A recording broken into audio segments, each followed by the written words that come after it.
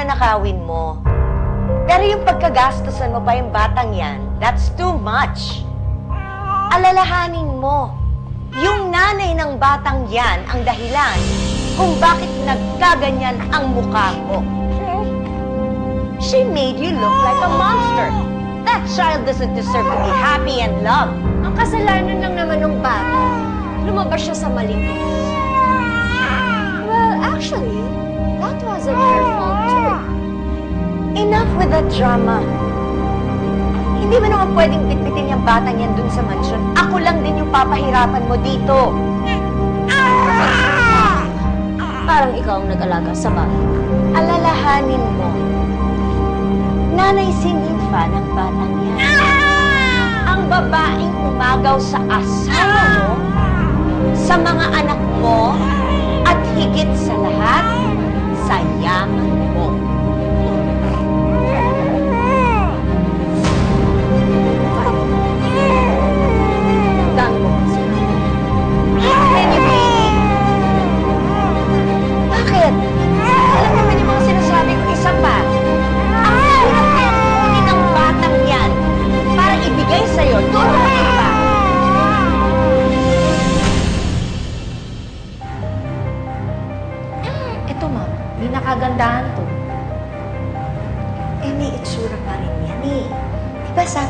sa'yo, ang kailangan ko, pangit. Sulitin mo naman yung pagpayad ko sa'yo.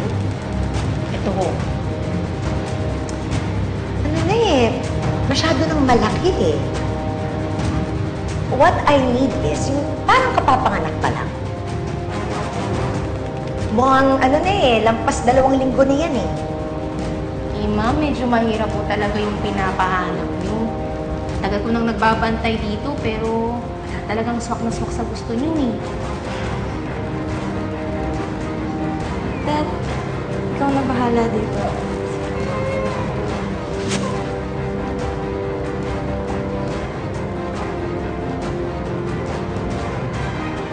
Eto, ma'am. Siguro naman okay na to. Perfect. Siguraduhin mo lang na malinis mo mo sa bata.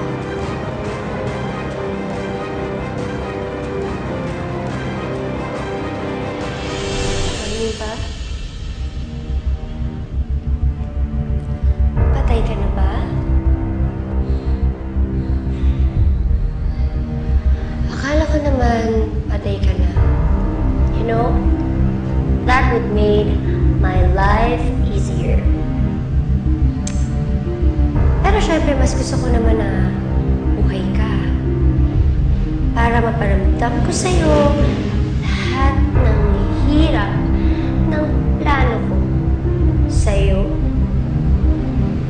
at para sa baby mo.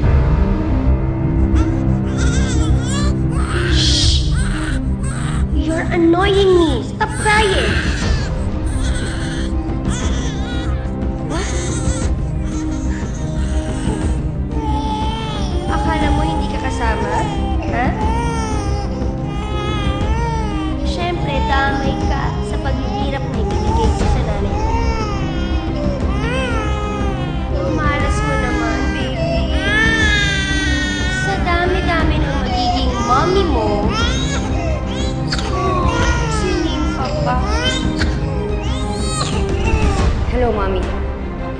Papuntahin mo na si Diego sa ospital. Punta na ako dun.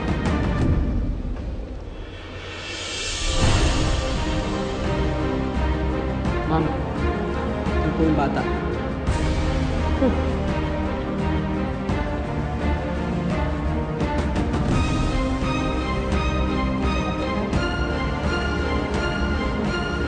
Oh. Wow.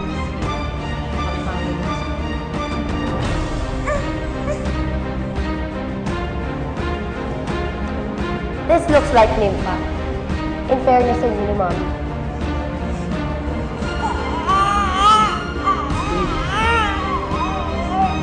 Ikaw nang bahala dyan. Ano ma'am? Spatsahin ko na ba to? Huwag. Dali mo muna sa bahay yan. Pag-iisipan ko kung ano gagawin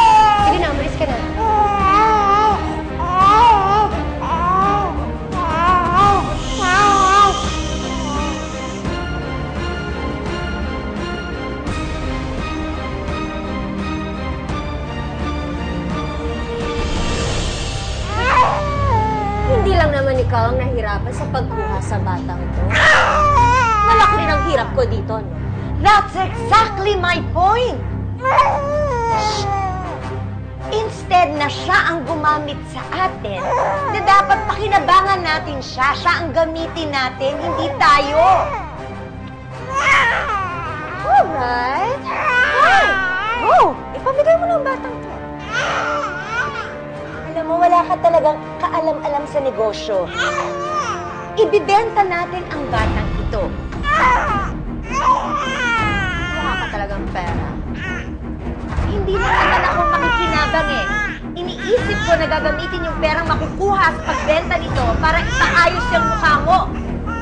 Masaya ka na ba sa maskarang gamit mo? Of course. Kaya nga gagamitin natin yung perang yon. And then, literal na mapagbabayaran na ni na Homer at Inimba ang ginawa nila sa'yo.